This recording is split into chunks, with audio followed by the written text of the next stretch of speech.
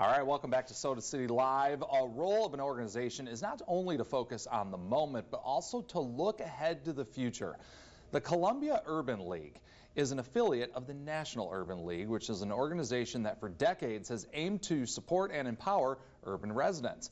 And the Columbia Urban League Young Professionals are some volunteers with that group, a volunteer affiliate which aims to take that baton to keep it going with some fresh new ideas and fresh eyes. Joining us today, uh, Columbia Urban League Young Professionals, Eliana Frazier, and also Vice President Tedious Williams. Thank you so much for joining us. Thank you Thank for having you. us. Yes, Thank you. you know, today is not only a day to commemorate, as we mentioned, but also to look ahead to the future. So, talk a little bit about what your organization does to make sure that that legacy stays alive.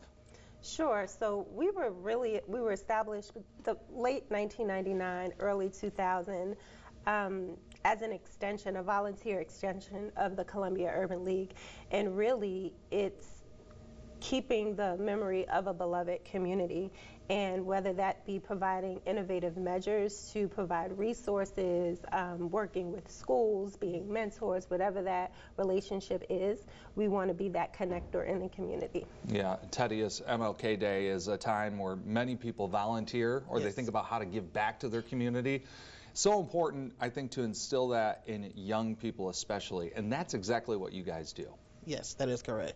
So we work with a lot of young people across the city, actually across 14 counties in South Carolina. So um, we always try to influence those uh, young people to volunteer, give back to the community, um, whether it's through the Columbia Urban League Young Professionals or Project Ready, who's with the also with the Columbia um, Urban League.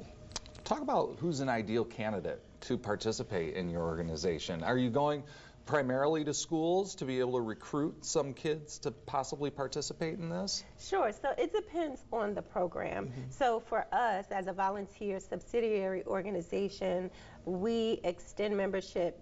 Well, it's technically the ages of 21 through 40. However, we extend to create a pipeline. We extend membership to uh, college students as well as individuals over the age of 40. However, there's specific programming, mentoring programming, uh, jobs for college students. So it just depends on the program throughout the year, and they can actually go to the website to find out what program fits them best. Yeah. Um, and they could see what the criteria would be. Yes. Wow. You know, when you think about just the power of mentorship and having somebody who's been there and maybe has carved out their own way, just to be able to, to get that type of advice, what does that mean, to, especially to a young professional who's, you know, just starting out in their career? What does it mean to have a trusted voice like that?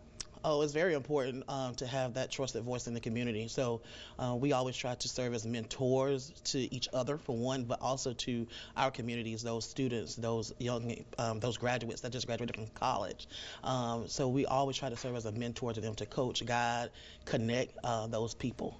Yeah, and those connections, I think, can be lifelong, and they, and they really do make all the difference. I think sometimes just knowing a face, knowing a name, somebody in a specific field, uh, that really goes a long way toward somebody being able to reach their goals. Absolutely. So we are centered on community service. Coupled with that, we provide personal and professional development training. So we actually have individuals who've moved around the country um, to more recently to Massachusetts for careers. So it's yes, we're a local chapter, but we're connected regionally and nationally to help you be your best self professionally and personally.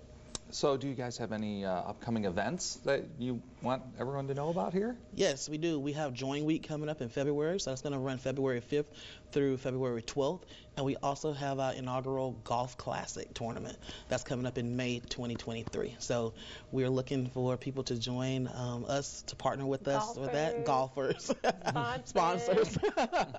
so we have that um, inaugural event in May 2023. Okay. And it, with different events like these, I'm sure the connections that come out of this are, are just so beneficial for all involved. You know, they come away from something like this with just uh, maybe even a renewed sense of purpose, a sense of meaning as they embark out on their careers. Absolutely, um, but I think it goes both ways because we meet a lot of professionals who sometimes you're not in the community as much or as you think, as much as you think you would be, And it's really the boots on the ground and that refreshing moment of just connecting with individuals who are committed to the community. Mm-hmm.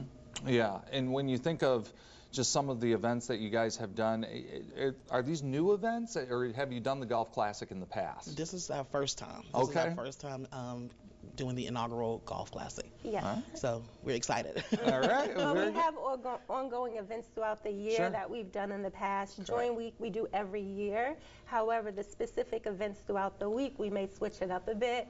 Um, but our golf classic is, is our first. Okay, Yes. so if somebody's uh, potentially thinking about joining, how do they go about and do that? They can go to our website, www.culypsc.org. All right, very good. We'll have a, a link on our website, and we appreciate you coming by. Thank Thank you you so for much, and thanks us. for all the work that you're doing with young people in our community. Thank Thank you you. so much. We appreciate that. All right. Well.